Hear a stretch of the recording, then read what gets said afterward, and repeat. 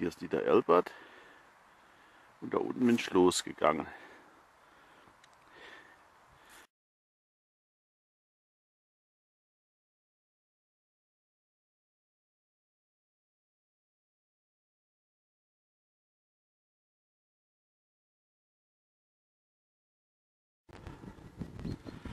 So, da hinten kann man noch die Grillhütte sehen von Niederelbert. Und hier ist schönes Panorama. Der Frühling ist nicht mehr aufzuhalten. Hm. Auf den Feldern wächst noch nichts. Aber trotzdem schön.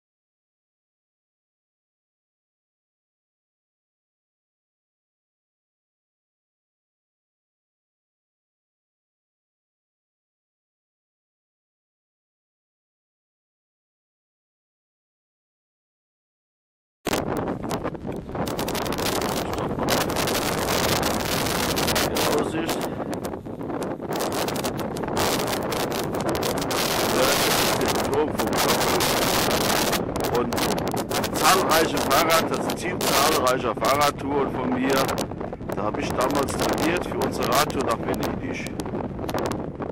Und hier ein bisschen weiter rüber. Hier dieser Fernsehturm, das nennt sich die Alarmstange. So. Und hier irgendwo hinter diesen Wäldern liegt dann Immendorf, wo ich wohne. Jo. An sich wollte ich nur Fotos machen, aber das ist so schön, das bekommt man gar nicht alles auf ein Bild drauf. Da unten dieses Tal, das muss das Stelzenbachtal sein. Und da wollte ich ja her wandern. Da bin ich aber gespannt. Bin ein bisschen spät dran. Jetzt ein bisschen strammer laufe, da wird's nachher komme ich ins Dunkle rein. Und verlaufe mich und verirre mich im Wald. Ja, liebe Wanderfreunde, hier habe ich was Tolles entdeckt. Das ist schon die zweite Bank, wo hier unten so was Weißes war. Ich habe schon zuerst gedacht, das wären solche Salzsteine für das Wild zum Lecken, aber das würde unter der Bank ja keinen Sinn machen.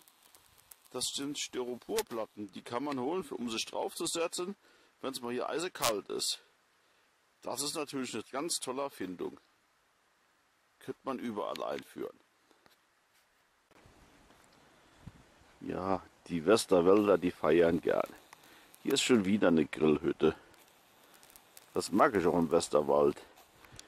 Jedes kleine Dorf hat Grillhütte, Dorfgemeinschaftshaus, viele Vereine. Bei uns geht alles in großen Städten, wird das ganze Geld, was dafür an Steuern einbezahlt wird, alles anderswertig verpulvert. Hallo, hier habe ich was ganz Besonderes entdeckt. Da blüht schon der erste Huflattich. Ich kann auf meinem Bildschirm jetzt nicht erkennen, da sieht man nur einen gelben Punkt. Ihr müsst mir glauben, das ist Huflattich. Da kann man ganz tollen Tee für machen, der gegen Erkältung hilft. Da blüht noch mehr, ich glaube sogar, muss ich jetzt mal zeigen. Da blüht noch mehr davon. Ich glaube, den sammle ich ein, das reicht für einen Tee. Kaum zu glauben, heute ist bei uns übrigens Wahlsonntag. Was finde ich hier? Frische Schwung, neue Kraft, CDU. Leute, die haben uns hier schon jahrzehntelang verkohlt Und wer frischen Schwung will, der sollte doch was anderes wählen. Außerdem, wer erklärt diesen Deppen mal endlich, dass man Plastikschilder nicht in den Wald deponiert? Ich find's schrecklich, ich werde es auch entsorgen.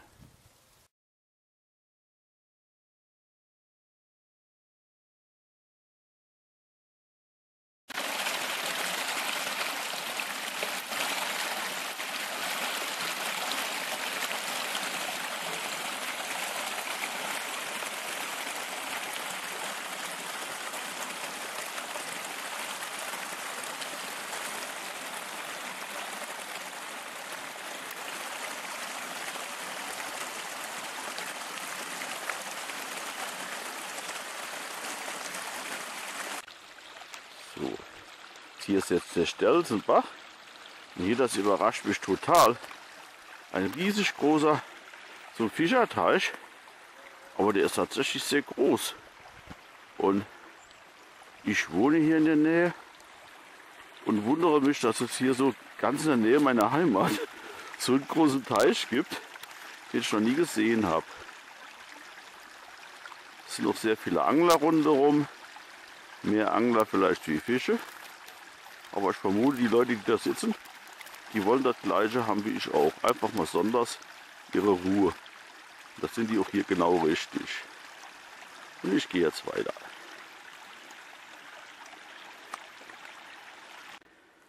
So, für hier noch ein paar schöne Bilder zu machen, begebe ich mich sogar in Lebensgefahr.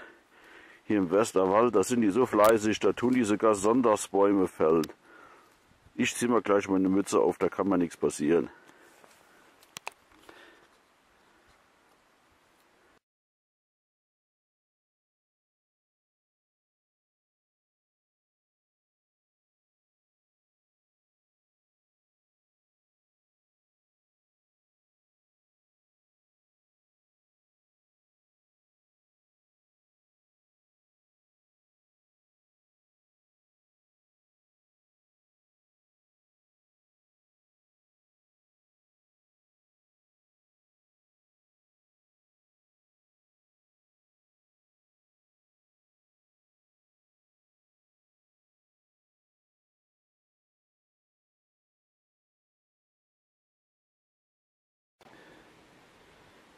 Ordnungsgemäß entsorgt. Ab in die Tonne damit.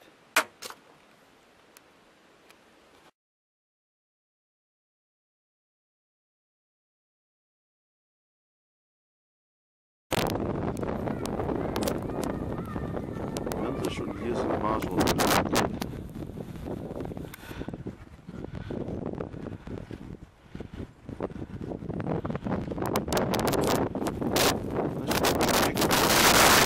Alles ist hier.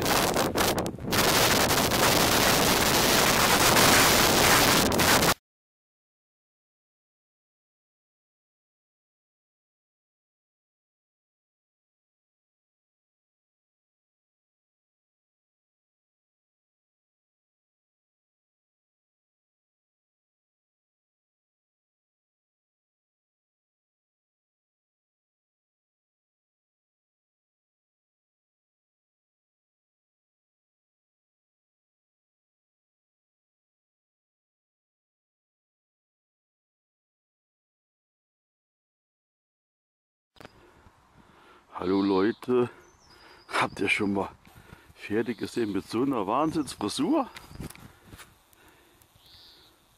So.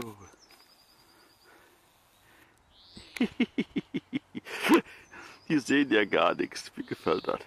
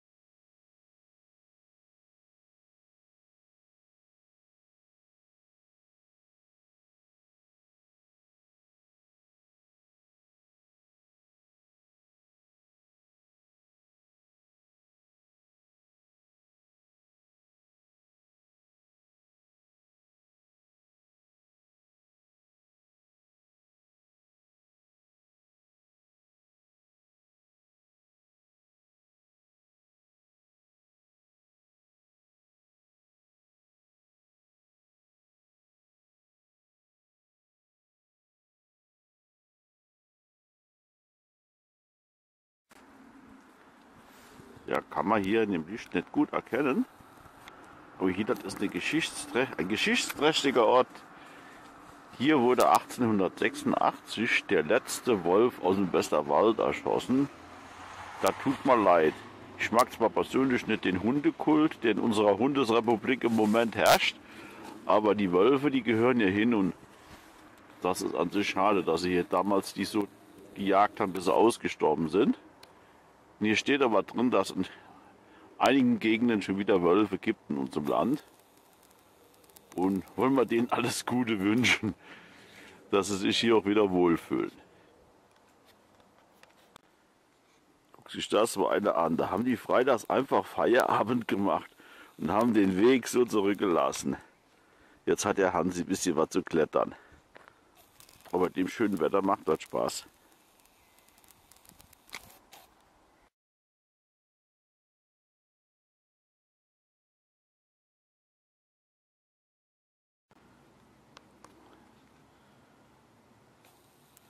Diese Torfnasen, die haben sogar den Baum mit dem Wanderzeichen gefällt. Wie würde ich, wie ich jetzt den Weg finden? Sieht auch sehr interessant aus hier. Eine Hansi-Klettertour. Gut, dass ich keinen Kinderwagen dabei habe. Jo, es wird Frühling. Die ersten Frösche werden wach. Und hier ist sogar echter Froschfleisch.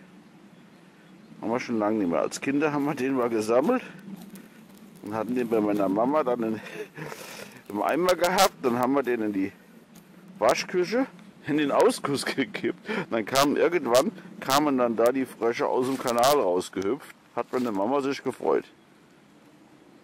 Schöner Tümpel für Kinder zum Spielen.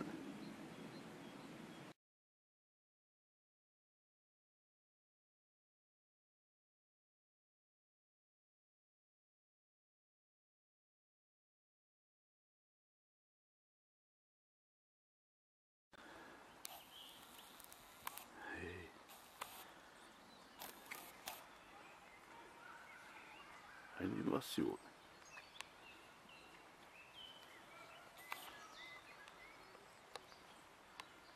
So ganz viele.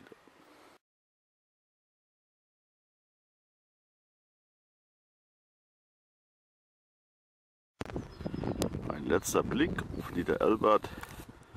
Jetzt habe ich auch strahlenden Sonnenschein und geht nur noch bergab und ich bin gleich da. Dem Wetter ist es fast schon schade, dass die Wanderung zu Ende ist. Hätte noch ein paar Kilometer mehr sein dürfen.